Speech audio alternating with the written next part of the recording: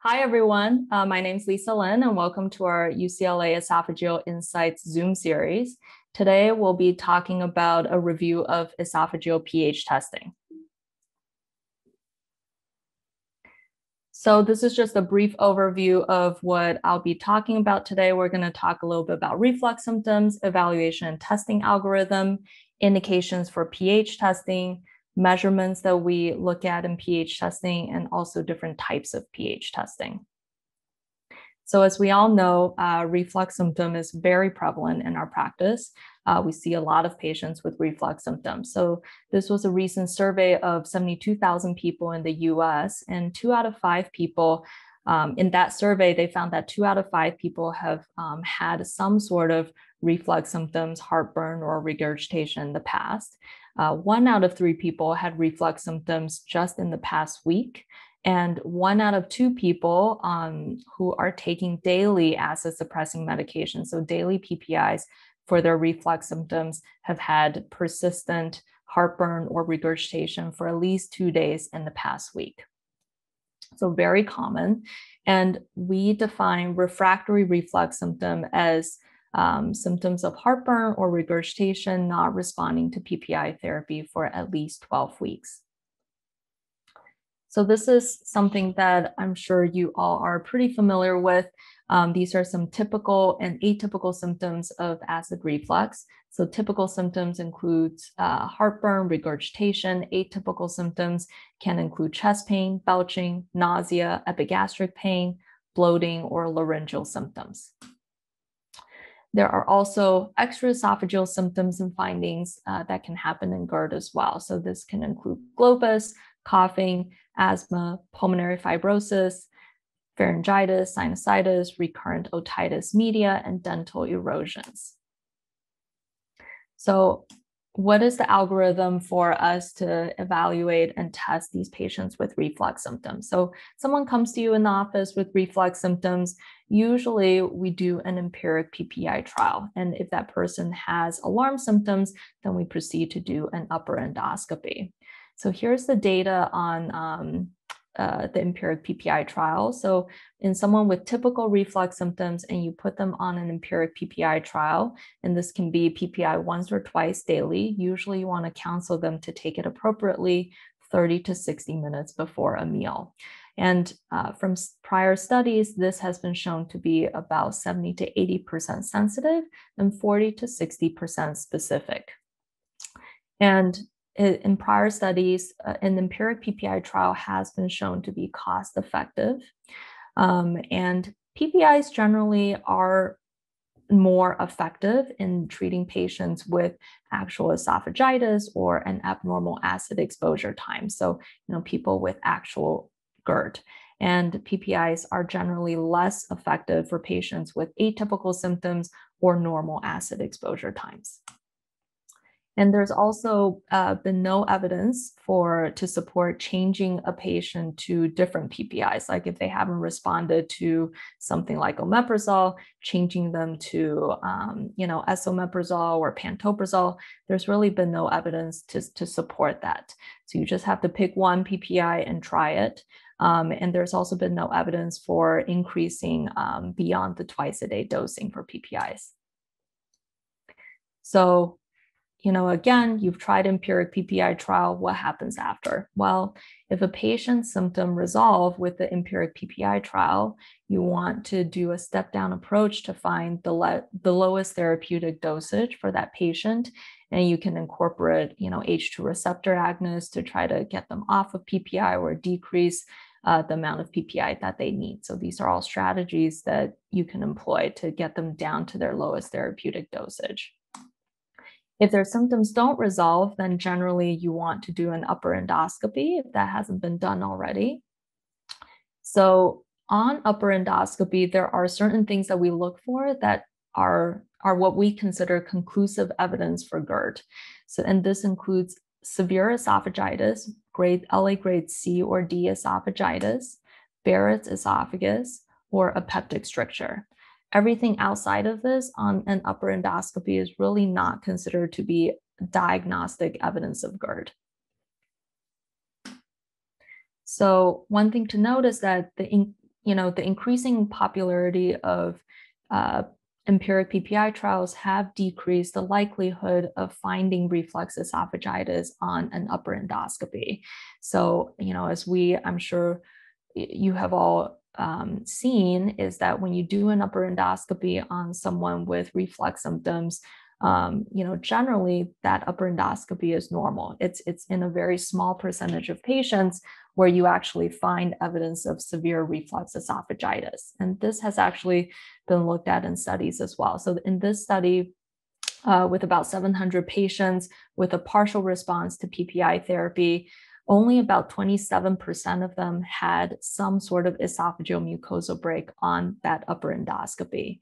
And among these 27% of patients, this was the specific breakdown of the different LA grades. So as you can see here, the majority of patients, 90% of patients had LA grade A and B esophagitis, which are not diagnostic for GERD. And only about 10% of patients had more severe esophagitis, LA grade C and D, um, which were diagnostic for GERD. And so overall, um, you know, an, an EGD has very low sensitivity and high specificity for diagnosis of GERD. So most of the time, you know, in patients with reflux, eh, the upper endoscopy is probably going to be normal. The other thing that I wanted to bring up here is that sometimes people will take esophageal biopsies on their upper endoscopy and it may show a few eosinophils um, and you know, oftentimes this is thought to be suggestive of GERD. Um, and it is true that reflux can cause um, uh, eosinophils to show up in the esophagus. Usually, esophageal biopsies, you know, in the normal esophagus should not show, should not have any eosinophils.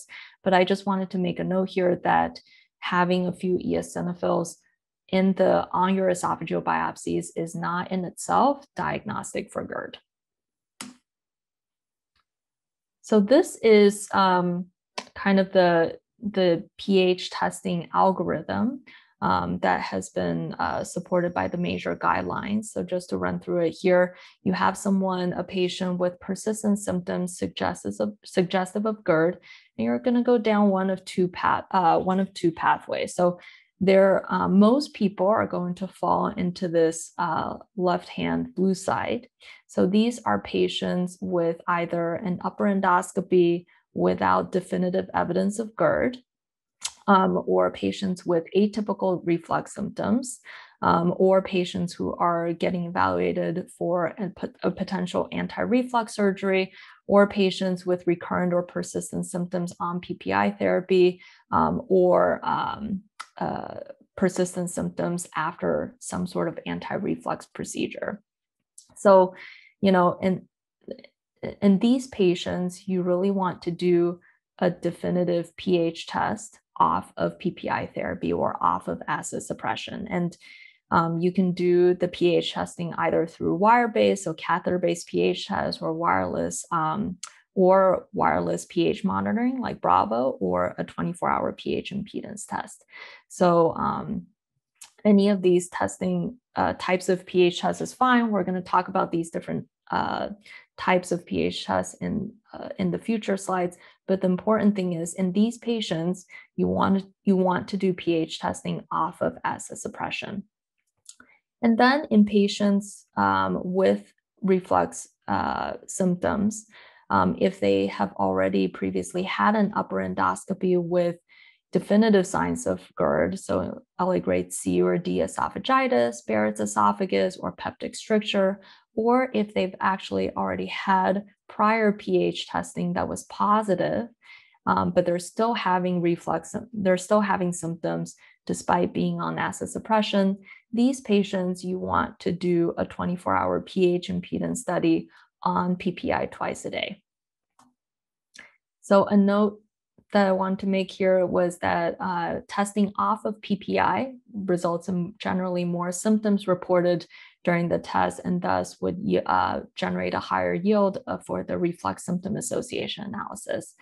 Um, and really for these patients, um, you know, without definitive evidence of GERD or uh, uh the question that you're trying to answer with pH testing off of PPI therapy is really does this patient truly have GERD and is it the cause of their symptoms? For patients on this right side here, the question that you're trying to answer is in a patient with already proven GERD, why is the treatment failing and is there ongoing reflux, either acidic or non acidic? So, we were talking in the last slide, basically, these are some of the indications for uh, pursuing pH, esophageal pH testing. I wanted to go into um, the atypical symptoms and the anti reflux surgery part a, a little bit more in terms of data. So, for atypical symptoms, these are some of the common extraesophageal atypical symptoms or findings that we see um, in patients who present to our clinic. So chronic cough, globus, belching, LPR, um, or also called laryngopharyngeal reflux, pulmonary fibrosis. I bolded chronic cough and LPR here because these are, are very common things that we see in clinic. Um, and LPR is where they, um, you know, where ENT does the uh, uh, laryngoscopy and they're seeing vocal cord erythema and edema. And these are just some of the points I want to make for LPR. A is that it has very low specificity for GERD, and LPR can be seen commonly in even healthy volunteers. All of the studies that have been that have been done in LPR are pretty small studies, but in a small prospective study of patients with laryngeal symptoms and LPR, pH impedance testing off of PPI actually confirmed GERD in less than 50% of patients. So a lot of these patients with LPR, they don't actually have GERD. In small prospective studies with LPR patients, laryngoscopic findings also did not predict response to PPI therapy. And also, what's been seen in prior studies is that the inter-rater reliability and agreement between different otolaryngologists for la- uh, laryngoscopic findings suggestive of LPR is really suboptimal. So there is a lot of inter-rater uh, variability. A couple of other notes um, uh, about kind of uh, evaluation for anti-reflux or before anti-reflux procedure and why is why it's important for us to get pH testing before considering anti-reflux procedure. So up to 50% of patients referred for further evaluation of reflux symptoms did not actually have objective evidence of GERD. So if you just referred patients for anti-reflux procedures based off of symptoms alone, then up to 50% of those patients could not actually, you know, may not necessarily even have GERD um, and may not need that anti reflux procedure. So it's just something to take into consideration. Um, in prior studies, abnormal acid exposure time, reflux symptom association scores have been shown to predict symptom improvement from anti reflux therapy, including surgery. The reason why I highlighted the abnormal acid exposure time here is that generally acid exposure time or abnormal acid exposure time is always usually the most reliable and the best predictor for response to therapy. There is limited data on whether adding impedance to pH monitoring facilitates selecting patients for anti-reflux surgery. And there's even less data on indication for surgery based on number of reflux episodes alone. So if you have someone, let's say, who get a pH impedance study and they have normal acid exposure time um, and normal reflux symptom association scores, but you know, on the impedance part, they just have an increased number of reflux episodes. You know, I would be very hesitant to refer that patient for anti-reflux procedure based on that alone. So for our esophageal pH testing, what are some of the things that we measure?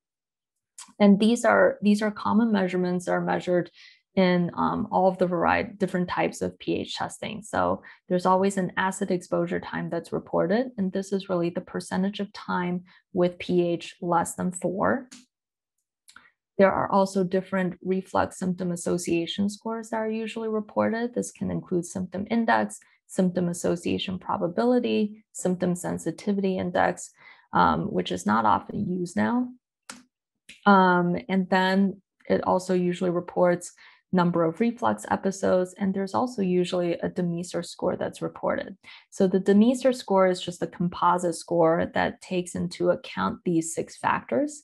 Um, so the total number of episodes of reflux, total acid exposure time, upright acid exposure time, supine acid exposure time, number of reflux episodes longer than five minutes, and longest reflux episode. And it, and it generates this composite score. So using a combination of the acid exposure time and the reflux symptom association um, score, you can generally phenotype the patients into one of these four categories. So if someone has an abnormal acid exposure time and positive reflux symptom association, generally that person is considered to have strong evidence for GERD. If someone has a pos, uh, abnormal acid exposure time and no negative reflux symptom association, then they're still considered to have good evidence for GERD. And this is because the reflux symptom association scores are not that sensitive, um, as we'll discuss in the next few slides. If someone has a, a, normal acid exposure time, but positive reflux symptom association, then you would consider this patient to potentially having reflux hypersensitivity. And if a patient has normal acid exposure time and negative reflux symptom association, then really for that patient, there is no evidence of GERD. So I wanted to go into a little bit about reflux symptom association scores, how they're calculated. Um, so one common uh, score that you'll see is the symptom index. And this is basically the percentage of reflux related symptom episodes. And how it's calculated is um, dividing the number of reflux related symptom episodes um, divided by the total number of symptom episodes. And you basically multiply by 100 to get a percentage, and anything higher than 50% is considered to be positive.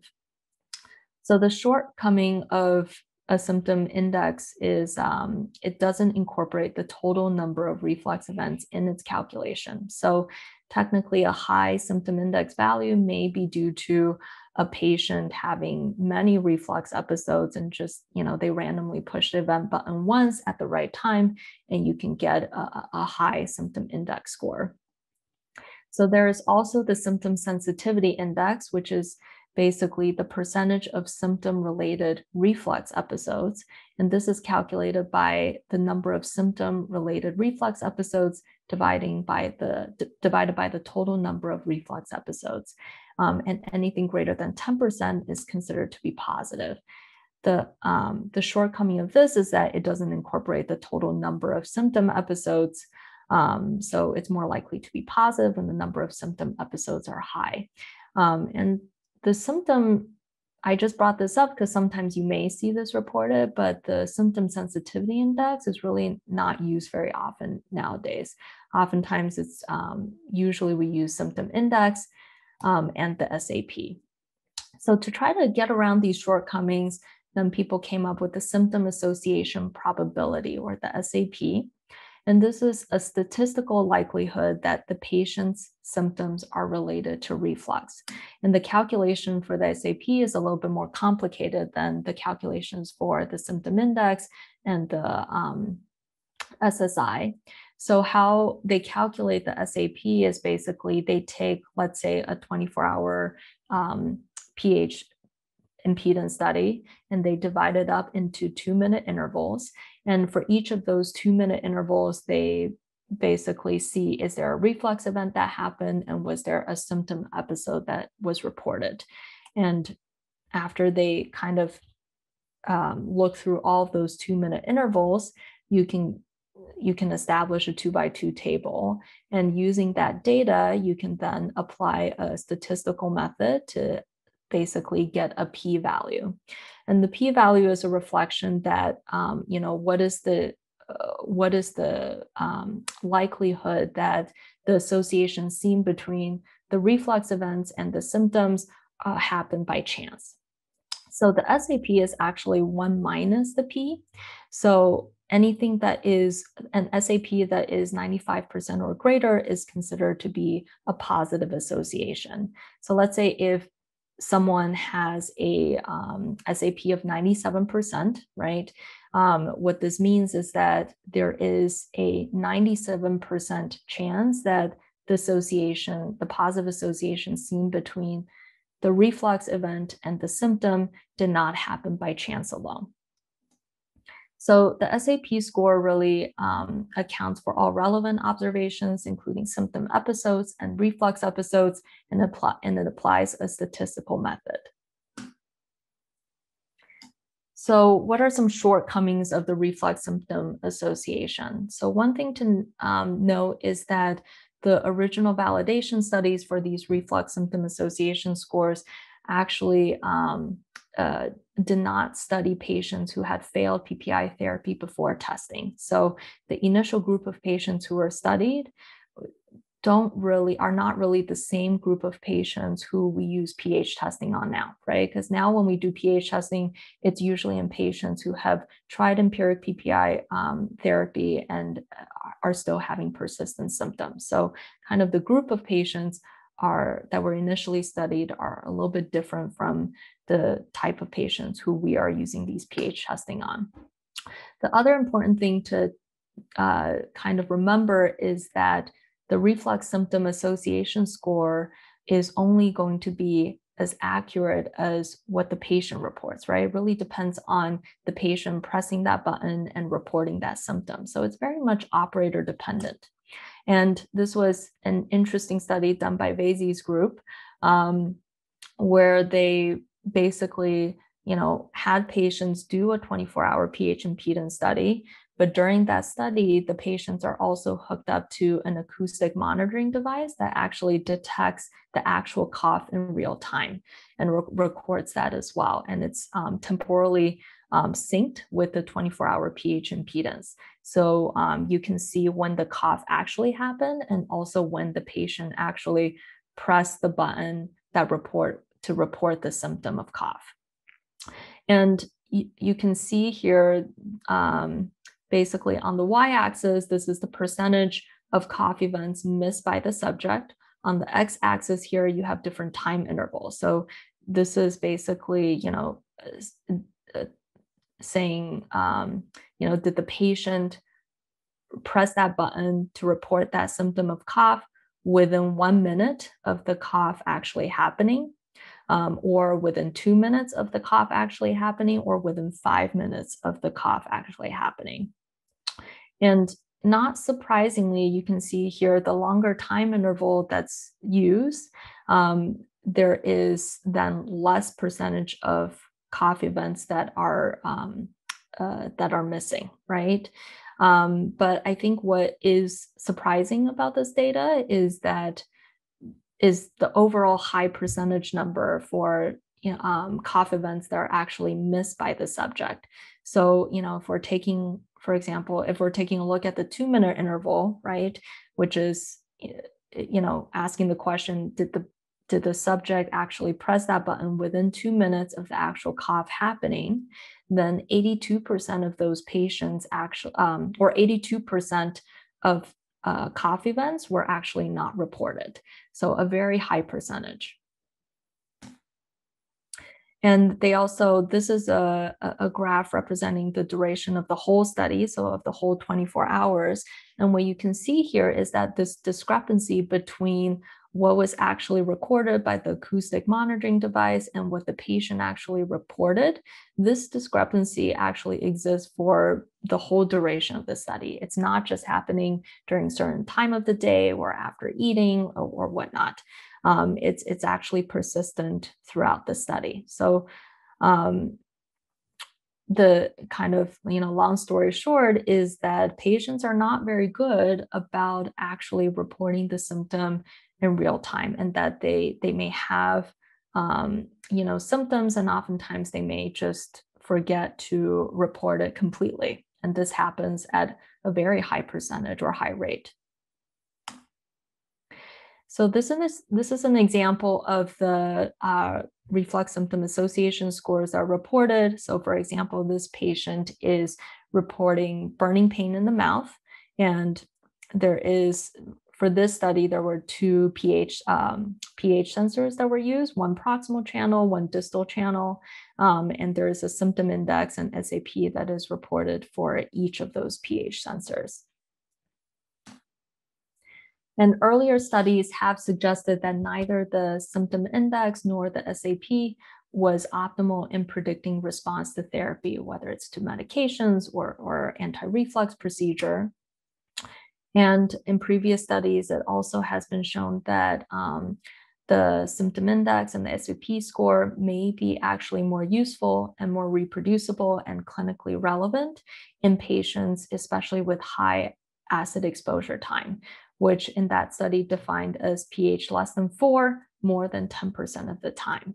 So the general gist is that, you know, generally these reflux symptom association scores are probably more useful and more um, accurate, especially in patients who actually have GERD and kind of the more severe and um, the more severe the GERD is, it's the more accurate these reflux symptom association scores are.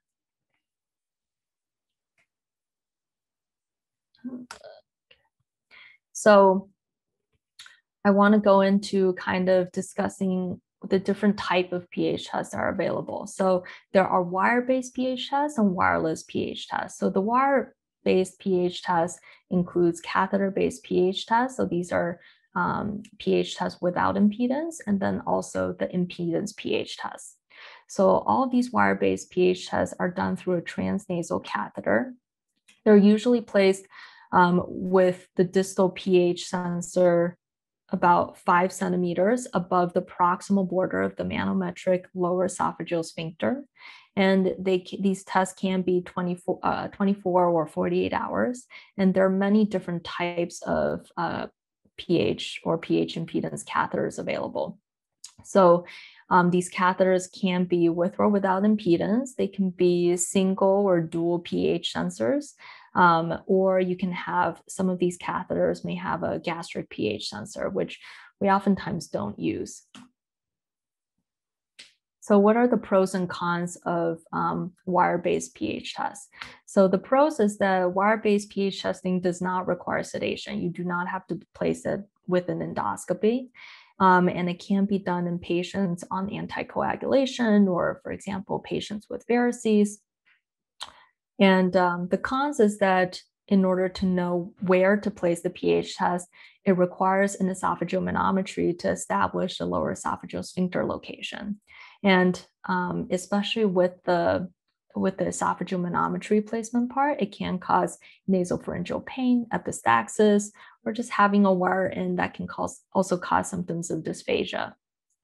And there are studies that have shown that wire-based pH testing can cause patients to restrict their level of activity, limit their oral intake, all of which can increase the likelihood of a false negative pH test. Swallowing and body movement may also alter the catheter position, leading to fluctuations in pH measurements. So this is an example of the um, result of a catheter-based pH test. Um, so this is pH without impedance. Uh, for this catheter that was used, there was a proximal pH sensor and a distal pH sensor. Um, and this line here basically indicates pH of four, and anything that falls below here is a reflux event. And um, generally, I like to, I think it's good to always take a look at this global overview of the data just to make sure there are no weird artifacts, um, that the you know, the pH sensor hasn't accidentally moved into the stomach, things like that. Um, and then if you look at the top bar here, um, this is what the patient also um, recorded. So basically, they've marked this blue bar here marked when they were lying flat or in, when they're in a supine position. Um, the green bar here indicates when they're eating a meal. So, you know, any reflux event that happens during meal times are excluded. And then um, the vertical lines are when they've report, the vertical gray lines are when they've uh, re reported a symptom. And this is um, an example of the numbers that are reported um, for the results of a catheter-based pH test. So this is this was a 24-hour um, pH test, and usually what you're looking at is the acid exposure time, right? And this is there's an acid exposure time for the proximal pH sensor and also for the distal pH sensor. And then there's also the composite DeMeester score that's reported. So, you know, I think oftentimes people think that pH test is very black and white. It's either positive or negative. But I think if you look more into the data, you'll realize there are more, actually more gray areas than you would think. Um, just from prior validation studies, generally in you know, an acid exposure time or total acid exposure time that's less than 4% is considered normal. And then kind of 4 to 6% is a little bit of a gray zone, but generally acid exposure time less than 6% is also considered to be likely normal. And anything greater than 6% is generally considered abnormal. The specific cutoff may vary a little bit depending on which validation study you're using to um, define your normal. Um, but generally, this is the um, this is the general ballpark for what you're thinking about for um, when to consider an acid exposure time normal versus abnormal. And just a few notes on acid exposure times. So the dual sensor pH monitoring test was proposed to evaluate both proximal and distal reflux burden in patients, especially with extraesophageal reflux symptoms. But um, the important thing to note is that the proximal acid exposure time actually has poor sensitivity and reproducibility. And there's actually no, um, you know, there's no great consensus on the pH criteria for defining pathologic reflux at the proximal esophagus. So, you know, the consensus on what's considered an abnormal acid exposure time in that proximal pH sensor is just not as good um, and defined as for the as for the acid exposure time in the distal pH sensor. But generally, um, you know, and for the proximal pH sensor, anything that is less than an acid exposure time of less than 1% is considered normal. 1 to 2% is a little bit of a gray area, but um, definitely anything greater than 2% is considered abnormal in the proximal pH sensor. And then what is kind of the meaning or um, kind of uh, uh, relevance of having abnormal acid ex exposure time in different positions. So upright versus supine versus combined, um, having abnormal acid exposure time in both upright and supine position. So someone with upright only reflux um, or basically abnormal acid exposure time only in the upright position, this is also considered diurnal reflux. And this is the most common pattern that we see. And this is thought to be uh, due to frequent transient lower esophageal sphincter relaxations. When someone has both as abnormal acid exposure time in both upright and supine position, generally uh, it's considered that those patients have more severe reflux, and those patients may also have an incompetent lower esophageal sphincter. Having reflux only in the supine position is definitely um, more unusual and not usually seen. So I think if you there's no great explanation for why that why we see that in some people, um, but I think you know for those patients you really have to kind of clinically correlate. And if it doesn't make sense with their symptoms or with their clinical picture, I would say for those patients you can consider repeating a, a, a pH test.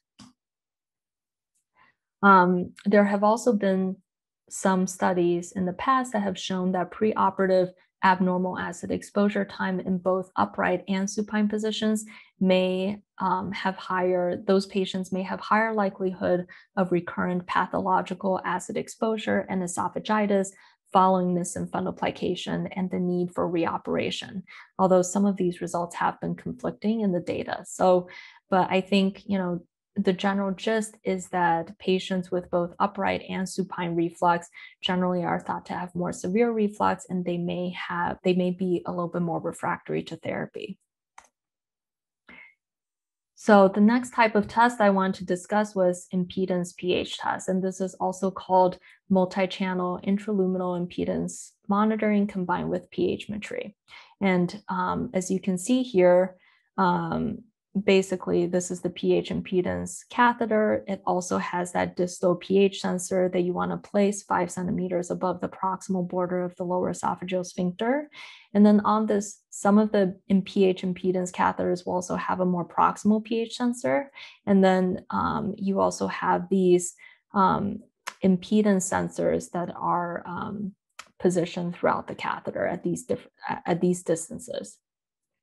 So currently a pH impedance test is considered kind of the gold standard for detection of reflux episodes due to its ability to detect acidic and weakly or non-acidic reflux events.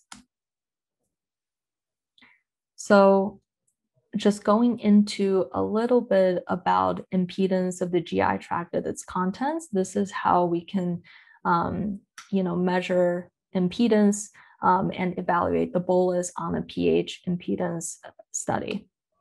So basically, impedance of air is very high, right? As you can see here, impedance of food or um, gastric or duodenal refluxate is low and the impedance of organ wall is about 10 to 30 times higher than impedance of the transported contents. So because of these differences in the impedance, this allows us to actually see the movement of the bolus. So the low impedance of the bolus, which also has high ionic content, makes it easily distinguishable from its surroundings. And I would just encourage you if you want to learn more about impedance and other studies using impedance, um, you know, a great um, video to look at is um, a, a, lecture given by Dr. Conklin on impedance of the esophagus that's now um, available on YouTube as well. So this is an example of a reflux event that we see on an impedance pH test. So, you know, here you have the, you know, each line here is data from the impedance sensors. And then at the bottom here, you also have the pH sensor that's located five centimeters above the lower esophageal sphincter. And as you can um, see here, we usually define uh, a, a, reflux event um, as a at least 50% drop in impedance that happens rapidly. And as you can see here, there's a sudden drop in impedance and you can also see the direction of this impedance drop, and it's actually going upwards toward the mouth. So this tells you that this is not like a bolus that someone is swallowing, right? This is a bolus that's coming up from the stomach upwards toward the mouth. So that's consistent with a reflux event. And you can also see here that there was a corresponding drop in the in the pH and the pH falls below four. So again, consistent with an acidic reflux event. And nowadays with our impedance pH test, you can, the program can translate that impedance data into color. So um, basically air is black. So something with high impedance is black, low impedance is white.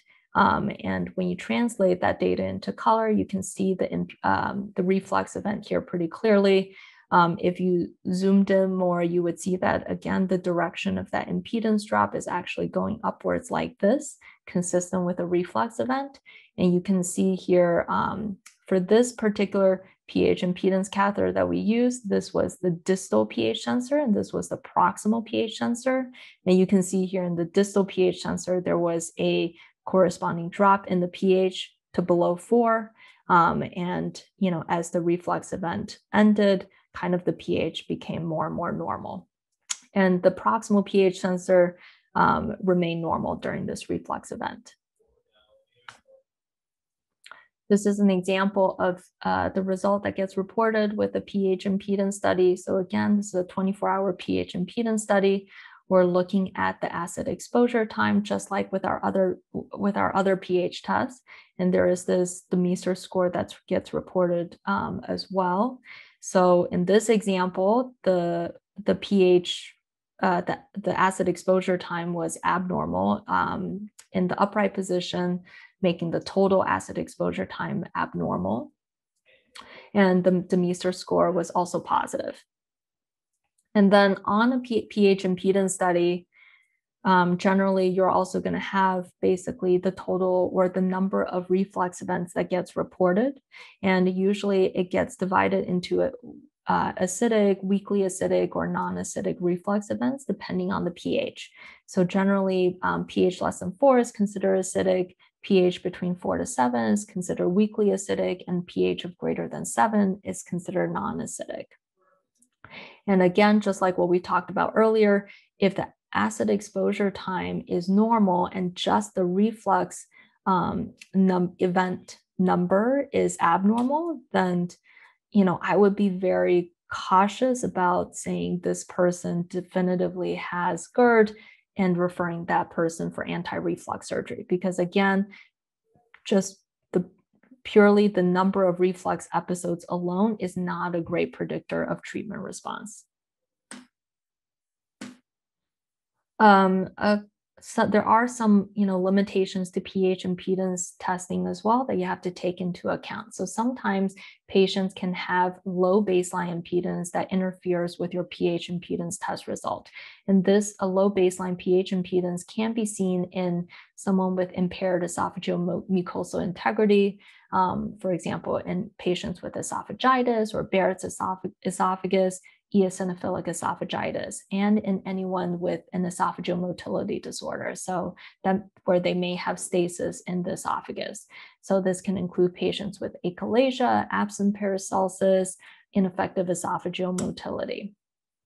Um, and this low baseline impedance can basically decrease the sensitivity of reflux recognition and just overall make it difficult to interpret that pH impedance study. And when they actually, um, there was a study looking at this um, where they looked at 2,800 pH impedance studies.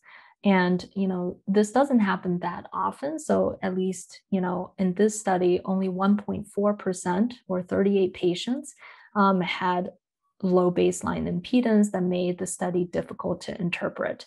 And when they looked at those 38 patients, this was the breakdown for what they saw was the cause of the low baseline impedance.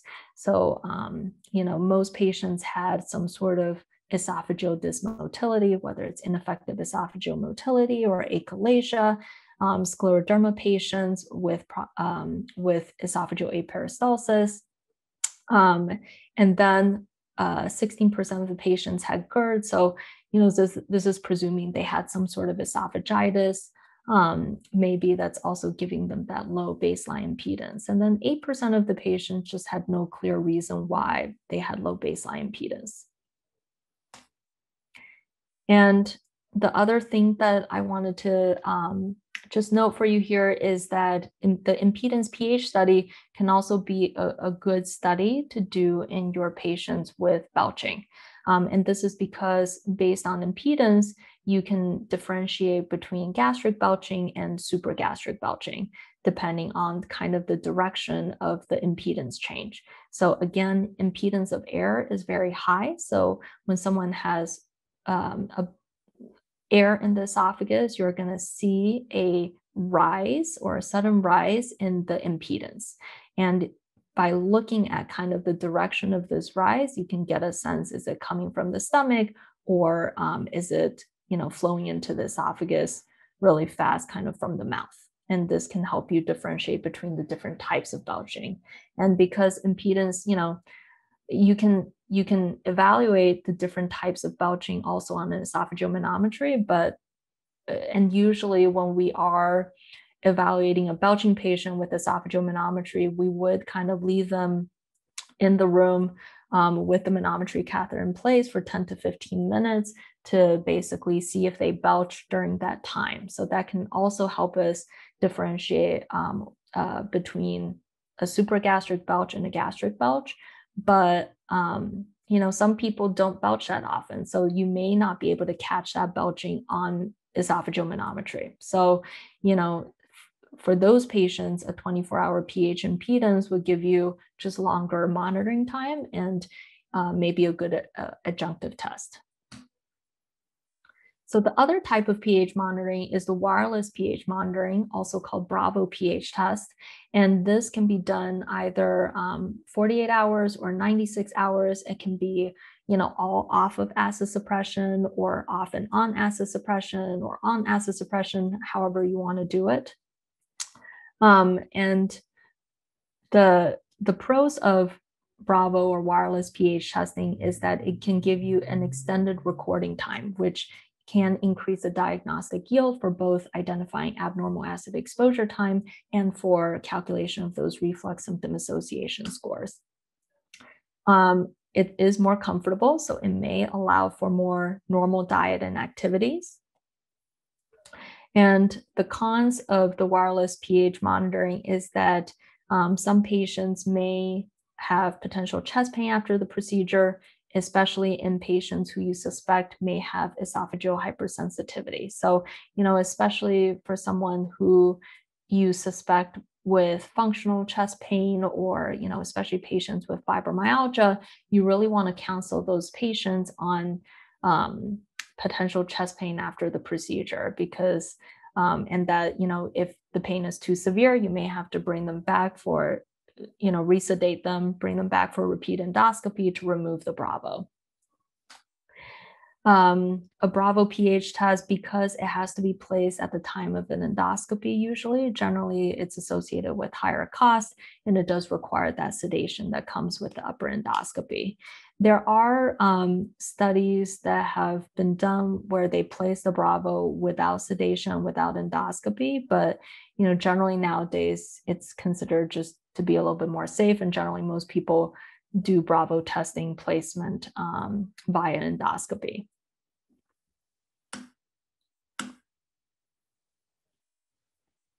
So for so when do we when will we use a wireless pH test?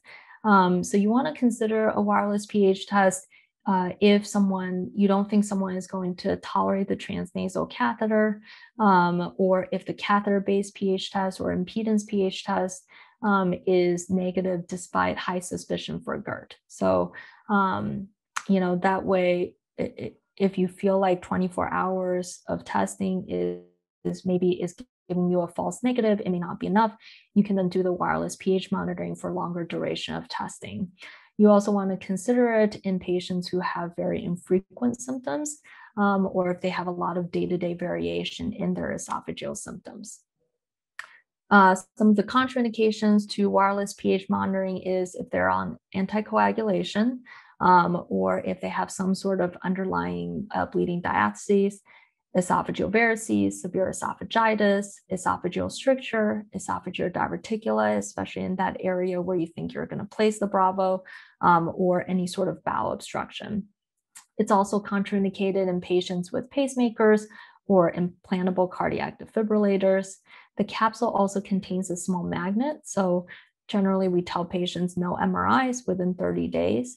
And then um, there's also a little bit of nickel in there, so it's contraindicated in patients with a nickel allergy.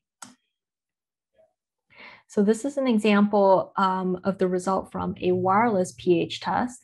Um, so, you know, this line is again indicative of pH of four and anything below that is a reflux event. Um, and same things, the patient marks whether they're supine when they're eating a meal, and they also mark their symptoms. And as you can already kind of see here from this test, just from this global overview, there are a lot of reflux events. Um, so this person probably had a positive uh, or abnormal acid exposure time. And this is um, an example of the results. So um, it's a 48 hour wireless pH test, um, and the data um, can be reported out day by day. And what you're looking at, again, is the acid exposure time. And this was a positive study. As you can see here, there was an elevated or abnormal acid exposure time um, for both upright and supine. And what you can see here, and again, in cor uh, corresponding to that, there's also elevated DeMeester score on both days. And what you can see here is that, um, and this has been shown in prior studies as well, is that there is a lot of day to day variation in terms of the acid exposure time, right? This person on day one, um, you know, just didn't have, had an abnormal acid exposure time, but not that high. And then day two had a lot more um, uh, reflux events um, on day two in general, in both upright and supine position. So this is another, I wanted to show this example as well. This is kind of what you would see if the Bravo prematurely fell off into the stomach and entered the small bowel. So this is why it's important to kind of, you know, before looking at the data, you kind of want to look at this global overview um, just to make sure that something like this didn't happen and that that's not affecting your data. So, you know, as you can see here, these were some reflux events. And then this was when the Bravo fell into the stomach, which is why this part was just all, you know, acidic with pH less than four.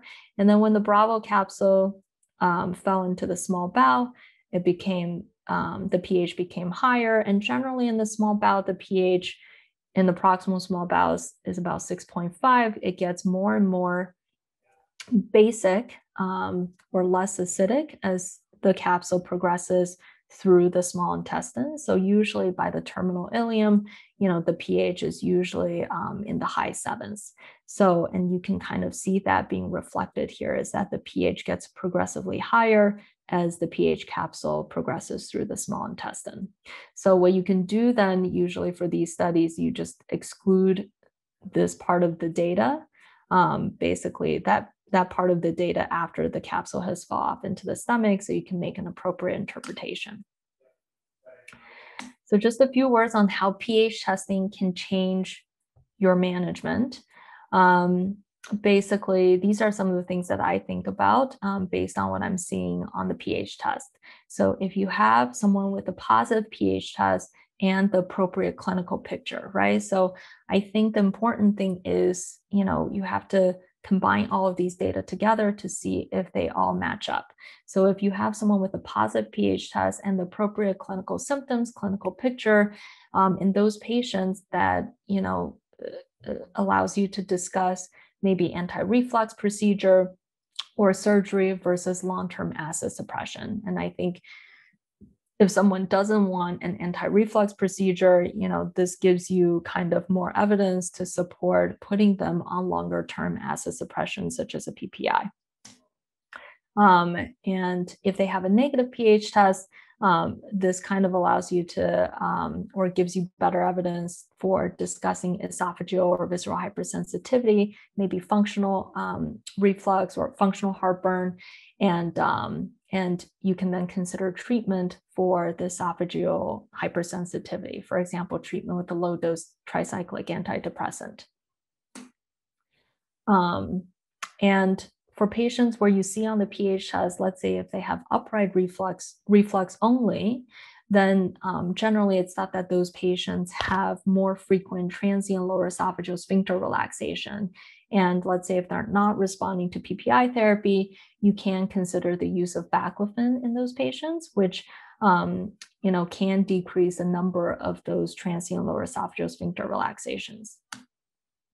And in patients with more also supine reflux, you know, those are the patients where I really counsel them on some lifestyle changes, including head of bed elevation, including the use of a wedge pillow, which can be much more effective than use of just, let's say, two or three pillows that, you know, oftentimes ends up just elevating their neck without elevating their chest. Um, you can tell them to avoid eating late, avoiding meals two to three hours before bedtime, um, and uh, avoid late evening fatty meals. So you just want to kind of keep that stomach as empty as possible before they lie down.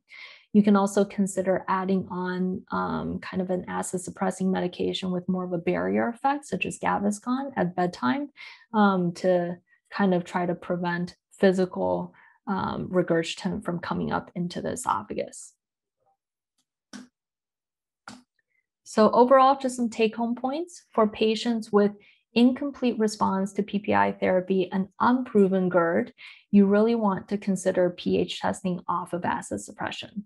So, you know, and, and the important thing to remember is that this is most of your patients. So most of your patients who you're getting a pH test, um, usually it should be done off of P, uh, acid suppression.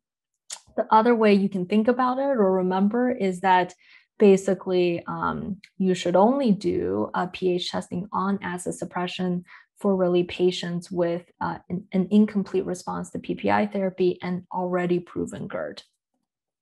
And proven GERD is defined as having either LA grade C or D esophagitis, Barrett's esophagus, or peptic stricture. Um, abnormal acid exposure time is also the most reliable and reproducible measurement and the best predicts therapeutic outcomes. So, um, you know, I think that's really the main thing that you're looking at. And for other things like the reflux symptom association, I think you really have to overall take in or you have to take into account multiple variables, right? All of these variables together, the acid exposure time, reflux symptom association, the clinical symptoms to see kind of if it all adds up, if it all makes sense to really decide on what is causing the patient symptoms. I think it, you can't really just take one thing um, into consideration on its own. I think you know, you can't just say there is, let's say, positive reflux symptom association. So therefore, you know, this is most likely, or an increased number of reflux events on impedance alone. I think you can't take those data in isolation um, to say that, okay, this person definitely has GERD. I think, you know, the best idea is to take all of these factors into consideration to see if it makes sense for your patient symptoms. So that's it. And thank you everyone for your time.